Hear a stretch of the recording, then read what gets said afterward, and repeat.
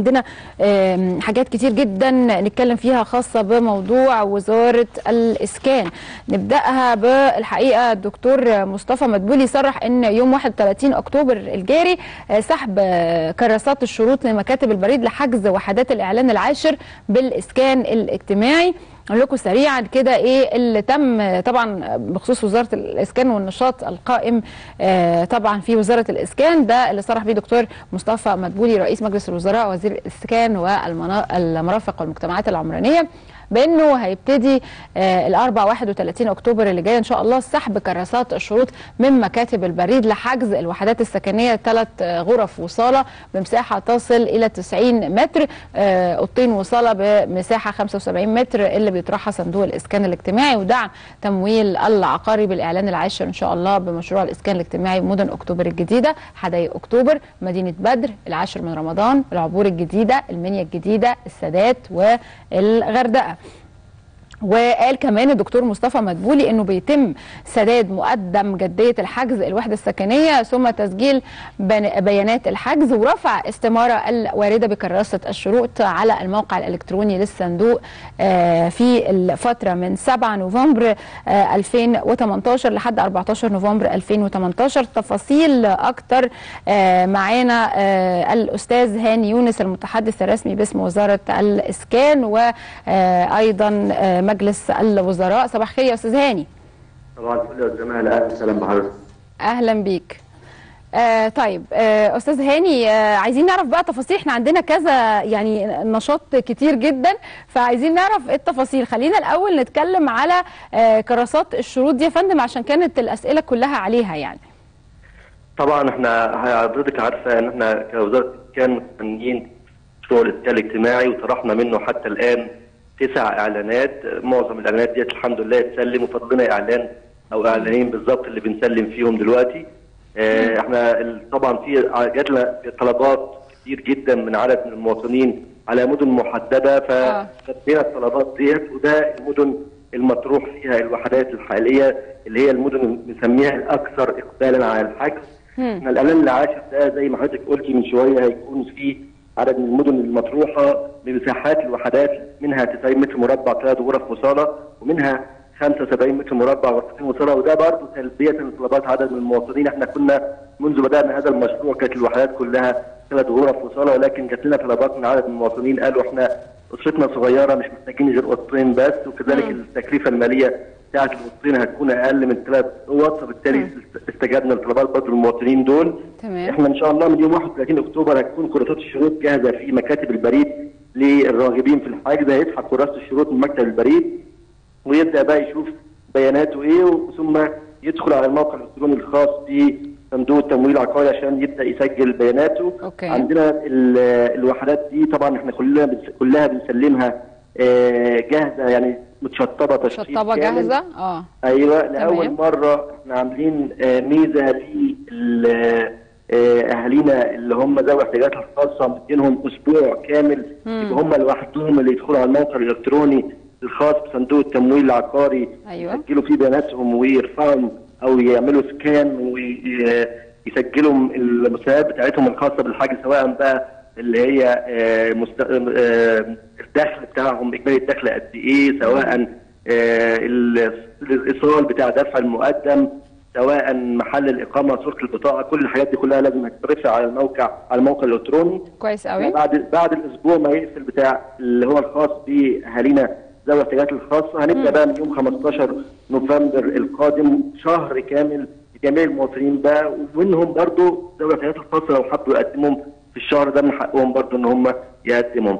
عندنا طبعا شروط محددة للحجز دايما إحنا عندنا الشروط اللي بنحطها للاسكان الاجتماعي بنستهدف فيها أيوة. إن إحنا الوحدات دي تروح لذوي الدخل المحدود والشباب وفي نفس الوقت تمام. نمنع اللي هم القادرين من الحصول على هذه الوحدات وكذلك من حصل على دعم مسبق من الدولة إنه يحصل على مرتين دعم أو ثلاثة وهكذا. تمام. وبالتالي حطينا شروط منها رقم واحد إن هو اللي يكون لم يسبق له أو لزوجته الحصول على وحدة سكنية مدعومه من الدولة أو قطعه ارض مدعومة آه، من الدولة أو أو يكون عنده شقة ملك حتى هو اشتراها بامواله الخاصه أو إرث شرعي ليه؟ لأن إحنا عايزين اللي ما عندوش هو اللي ياخد إنما اللي بالظبط لت- لتحقيق التوازن الاجتماعي. بالظبط يا فندم الحاجة الثانية الشرط إن إحنا حاطين دخل محدد ما يزيدش عنه اللي عايز يرغب اللي يرغب في الحصول على الوحده كام؟ إذا كان أعزب ما يزيدش عن 4200 جنيه وإذا. كان متزوج ما يزيدش عن 5700 جنيه يعني لو هو وزوجته بي- بيعملوا الاثنين. يبقى اجمالي دخلهم الاثنين ما يزيدش عن 5700 جنيه تمام كان يا فندم. اعزب ما يزيدش عن 4200 جنيه مم. برضو من من الشروط اللي إحنا حاطينها إن هو بيحجز في المدينة أو المحافظة اللي هو بيشتغل فيها أو اللي هو مولود فيها أو اللي هو محل اقامته فيها فبالتالي إحنا برضو وسعنا دايرة ال- الاستفادة بالنسبة للمواطنين. طبعا كل المستندات دي المطلوبة بقى اللي هي صورة البطاقة إجمالي الدخل شهادة باجمالي الدخل الحاجات دي كلها مم. بيجهزها المواطن عشان يبدأ يحطها على الموقع الإلكتروني الخاص بالحجز طيب أستاذ هاني عايزة أسألك بقى على حاجة تانية وهو يعني الحقيقة في ناس يمكن أكتر من 2500 مواطن سددوا مقدمات الحجز بمشروع جنة للإسكان الفاخر مشروع جنة. الحقيقة يعني ناس كتير بتتكلم عنه قد إيه هو شكله آه، فعلا يعني هو إسكان فاخر جدا. أسعاره آه، وطرق السداد فيه آه، مريحة. أنا عايزة أعرف يعني إحنا كده ال 2500 مواطن بعد كده إيه اللي هيتم بالظبط؟ ويعني تفاصيل مشروع جنة الإسكان الفاخر.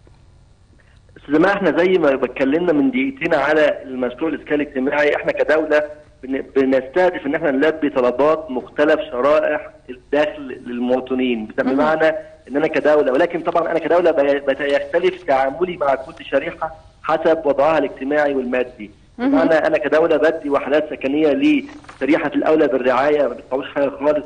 أيوة. اللي هم اهالينا مثلا سكان المناطق العشوائية الخطرة اللي الدولة بتعمل لهم مناطق مطورة حاليا وبيدفعوا جزء بسيط بعد الاستلام اللي هو بيبقى بيستخدم في أعمال الصيانة لهذه الوحدات ما. بيدخلش لا جيب وزارة الإسكان ولا جيب محافظة القاهرة أو أي تمام. محافظة أخرى من المحافظات اللي معموله فيها.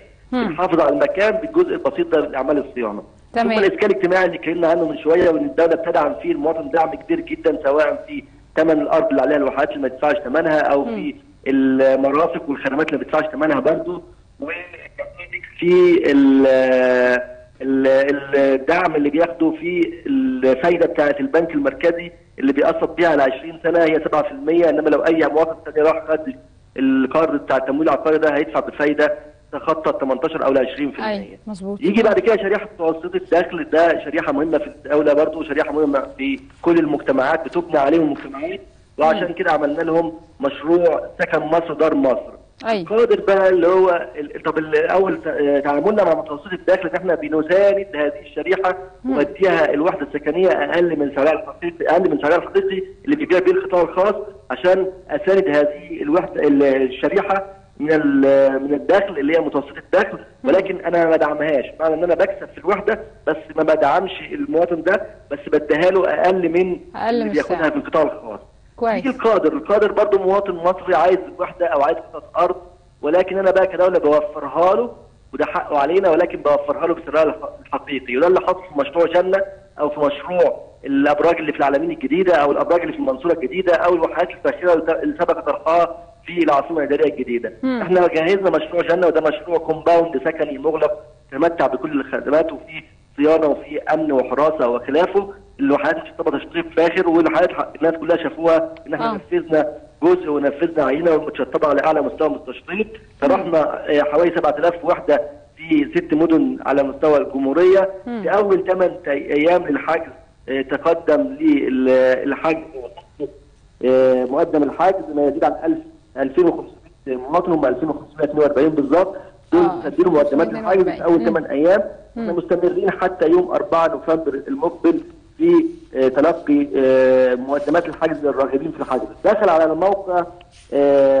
زياره للموقع تصفح كراسه الشروط وخلافه ما يزيد. على 100000 مواطن وكذلك سجل بياناته بقى اللي سجل بيانات عشان يرغب في دفع المقدم والحجز حوالي 8700 مواطن. تمام. أستاذ هاني أنا بشكرك جدا جدا وبحييك وبحيي طبعا وزارة الإسكان على هذا النشاط الملحوظ اللي بيهتم بكل شرائح المجتمع. آه شكرا مرة أخرى وبصبح على حضرتك أستاذ هاني يونس المتحدث الرسمي باسم وزارة الإسكان. شكرا جزيلا. ده كان خبرنا خاص بوزارة الإسكان. تعالوا بقى نروح